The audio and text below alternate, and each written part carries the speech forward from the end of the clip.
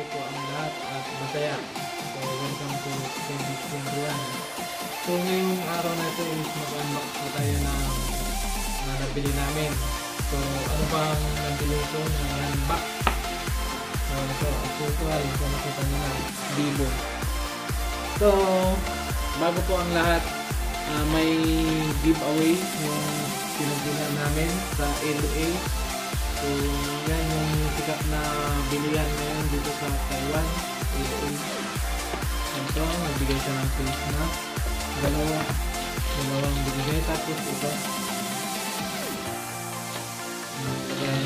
So, ito po yung ano, giveaway na binila namin sa LA. So, ito. And then, yung lagay ng cellphone.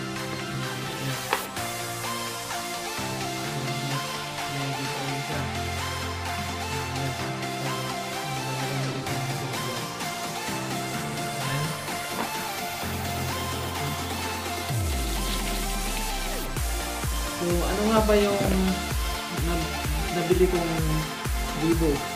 so, ito po. Yan, napakaganda po ito kasi Vivo X50. So, ang capacity nito is mga specs niya. So, napakataas. Um, tingnan na natin yung specs niya.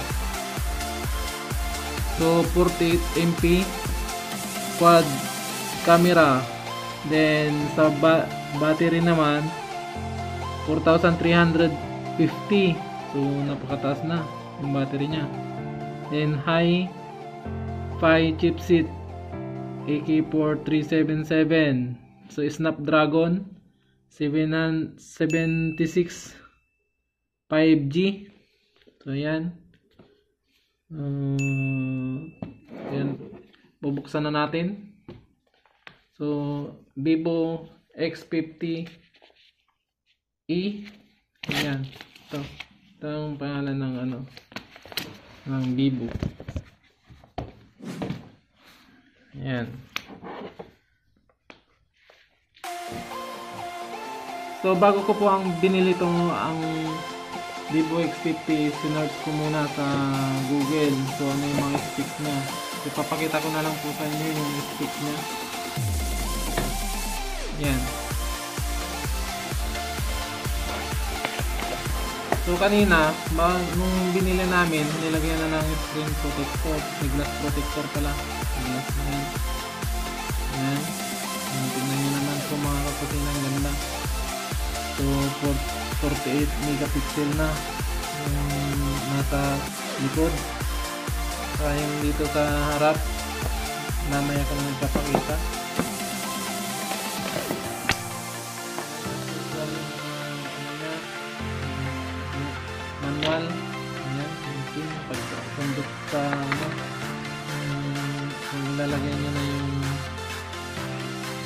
Pin ayan yung gamit yung and then charger. Ayan ito. Yung flash charge. Mabilis na pag charge ng cellphone. Siguro nasa 30 minutes full charge na yan. And then headset. Ang kasamang headset yung style nya ang ganda yung pang ano na kagad yung nagkakabit dito um, marumi na siya pwede mo siyang yan so, apat yan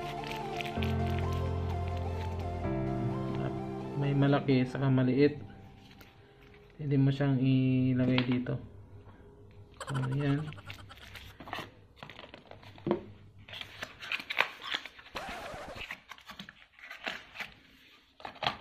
ito yung ano ng charger. So charge natin ito pagka bagong uh, bili 6 hours ang niya. First charging niya daw Taas natin yung tatag.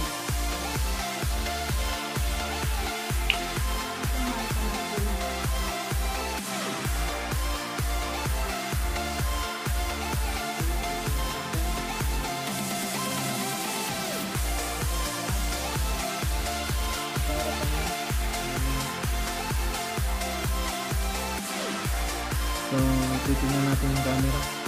Um, malinaw kasi 48 megapixel. Ayan. Ang ang linaw.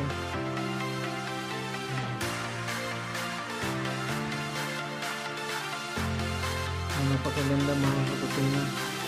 So, mura lang siya at kayang-kaya sa budget saka napakalinaw po itong camera niya kasi 48 megapixel so yan kaya ito yung nagustuhan kong bilhin kasi mataas na yung specs niya. So Vivo 5G yung sa sa likod ng yung camera niya is 48 megapixel. So apat yung camera niya dito sa likod. So ipapakita ko na lang sa inyo po yung mga specs. Kasi hindi ko masyadong ano um, natingin yung settings niya. Ito yung niya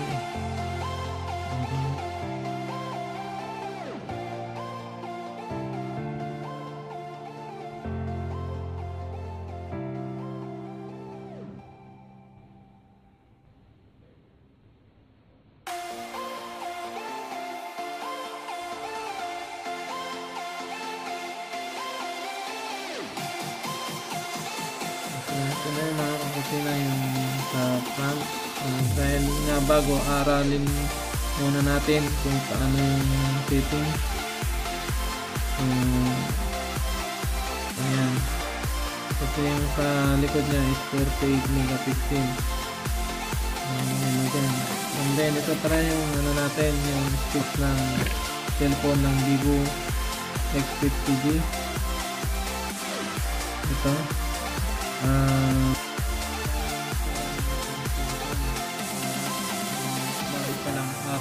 natin kung ano yung mga setting.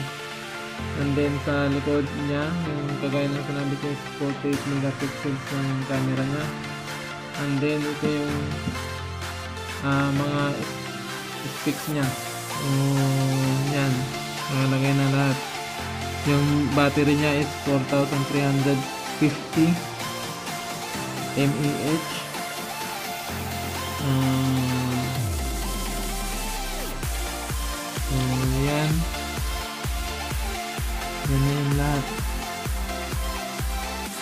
yung 3G, WCDMA, B1, B2, B4, B5 2G, GSM 5G, 2, N1, N28, N78 so, um, ayan. So yung RAM nya, RAM nya makikita dito